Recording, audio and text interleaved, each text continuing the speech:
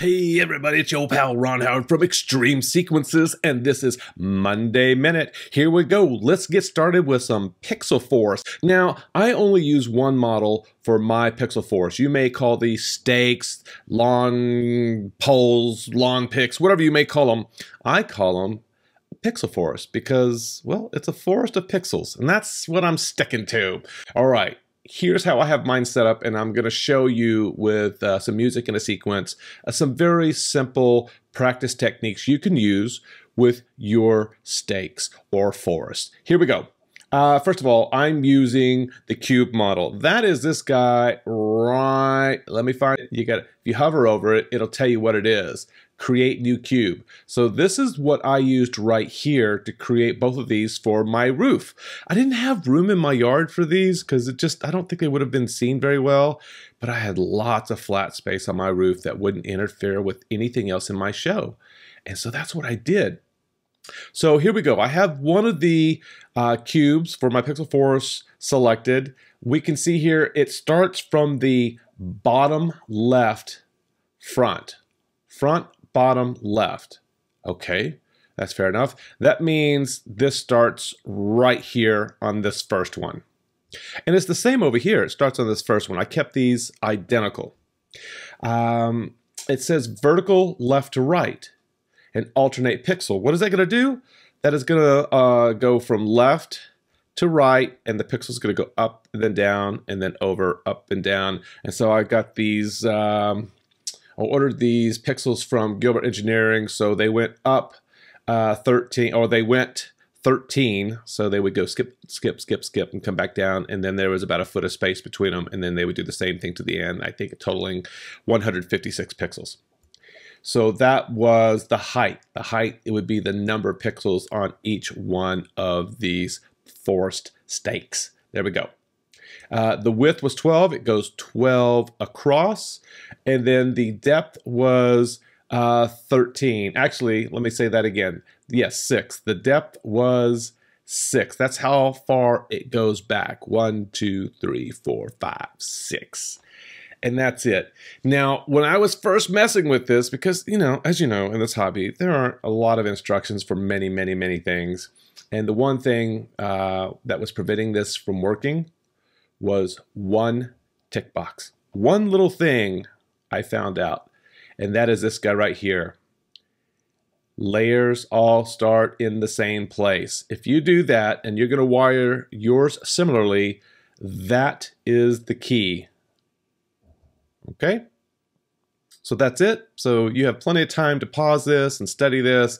Uh, if you wanted to start from the right side or the back, you certainly could. Doesn't matter. And I'm going to show you how to test to make sure that the wiring is correct when you're testing your sequences. Let's go over to our sequencer. So I'm going to play this for you, just a little bit of music, and then we'll talk about each of these effects.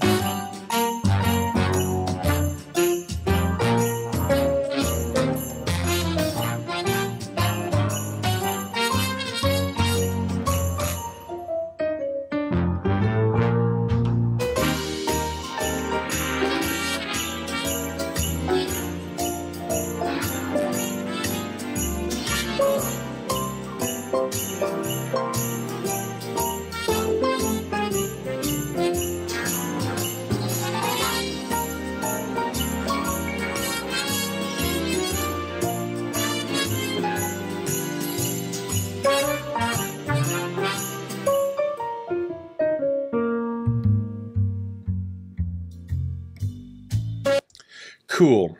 Simple, simple, simple exercises for you. One of my favorite tools is the Wave tool. I've done other videos on this, but the Wave tool is really, really cool with uh, the cube model.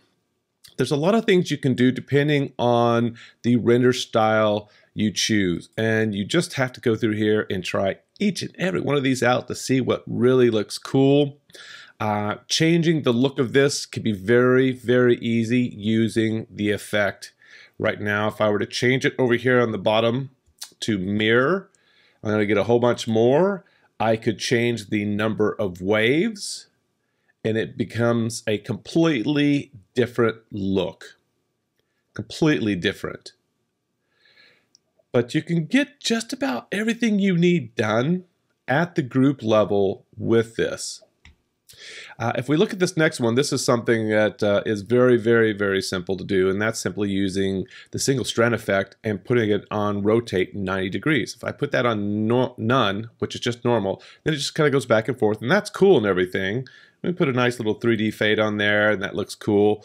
Or we can put this on up and back up and down. Very cool. Simple, simple stuff to do. Now, this is all at the group level. There are times where you will want to venture into the model specific level, not the group, but the model, because there are a lot of different options in here at the model level. You can see this is stacked X horizontally. We could go to overlaid X. That looks about the same. We can go to Y. Looks about the same. We go to Z Looks about the same. Maybe I should be rendering. There we go. Yeah, it's probably going to be about the same. Oh, actually, you know what? Let's let's make sure we're looking at the right one. In this case, the left one. So let's keep going down our list. Let's go left side, just the left side. I want to go back up here to the stacked X horizontally, and that's where that's at. Uh, depending on the effect and depending on the render style, there are some pretty unique things you can do. Most of my work remains at the group level. It just keeps it simple, and I haven't found anything I can't do at the group level other than what I'm going to show you in a moment. Uh, this is using per model per preview.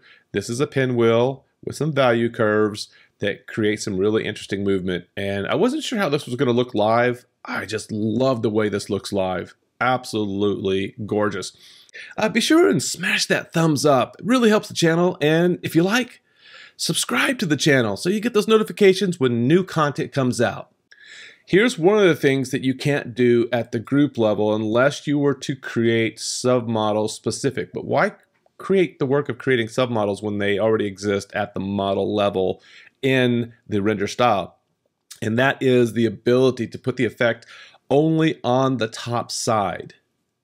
I think that's pretty cool.